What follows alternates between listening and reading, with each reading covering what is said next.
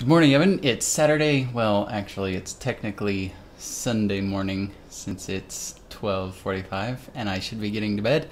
But thanks for sending a video response. So cool. So yesterday I started thinking that I've never made a game before and making games are cool, so I figured I'd start making a game. So yesterday, today, today I started making a game. I'm building it in HTML and JavaScript and it's going to be of the tower defense genre. Uh, it's going to be a simple, very simple uh, game where bears are trying to get to a honeybee hive to steal the honey, and the bees have to stop them.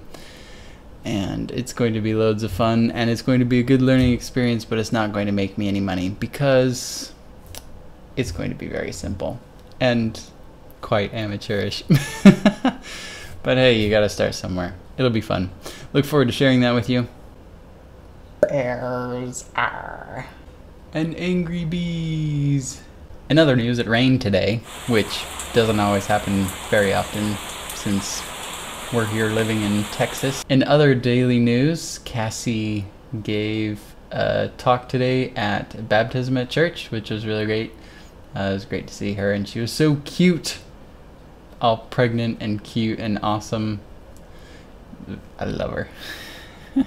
Also, congratulations on your recent victory at the DMV, getting your driver's license. Crazy to think that you're on the road driving now. Wild stuff. Shaking my hand a lot. Look forward to seeing some of your videos and photos of your recent trip, and I will see you later.